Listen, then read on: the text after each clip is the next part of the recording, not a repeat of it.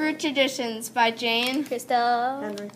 In 1950 BCE, Abram moved his Hebrew clan from Ur to Canaan. Later in 18 BCE, a famine struck Canaan and forced them to move to Egypt. According to the Torah, the Pandora enslaved the Hebrews at an unknown time. The Hebrews then, the Exodus began and from Egypt with Moses. Later, 1000 BCE, Israel is set up under King David. Later, in 931 BCE, Israel is split into two. In 722, Israel was conquered by the Assyrians. Then in 597, Judea was conquered by the Neo Babylons. Yom Kippur is a celebration of the gods.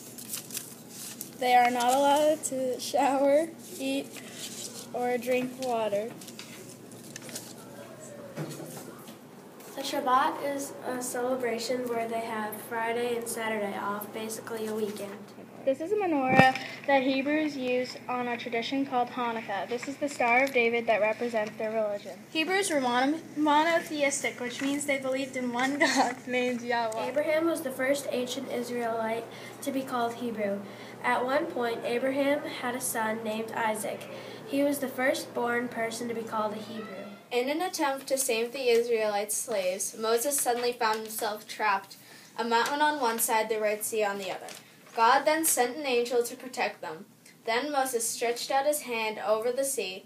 Suddenly the sea was in two, and during that night the Israelites fled through the sea as the Egyptian army chased them. This time is called the Exodus. God told Abraham that in order to prove his loyalty, he needed to sacrifice his son. Abraham obeyed God, but at the last moment, God said, Stop.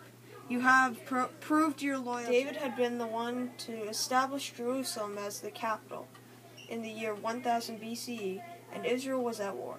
A giant warrior, one of the Philistine, named Goliath, tormented Israel by calling them weak and wimps.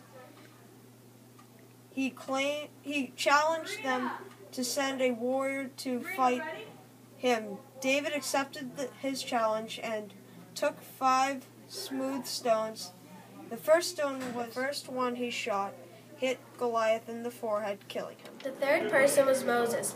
Moses, as a child, was sent down a river in a waterproof basket to save him from getting killed. Soon after that, the Pandora's daughter heard a baby crying and found Moses and rescued him. She saved him. The name Moses, that means drawn from water. Later, Moses' goal was to go to Mount Sinai. At Mount Sinai, it's where God gives gave Moses the Ten Commandments, also the Torah. The last important person was Solomon. In the Hebrew language, Solomon means peace. King Solomon was known as the wise man. One example is two women claimed they were the mother of a baby. Solomon ordered a soldier to cut the baby in half so they could share. One woman accepted it, but the other said the first woman could have it and to spare the baby's life. Solomon then knew the second woman was the real mother, because the real mother would never let her baby be killed. One important event was the dyspho- dysphoria.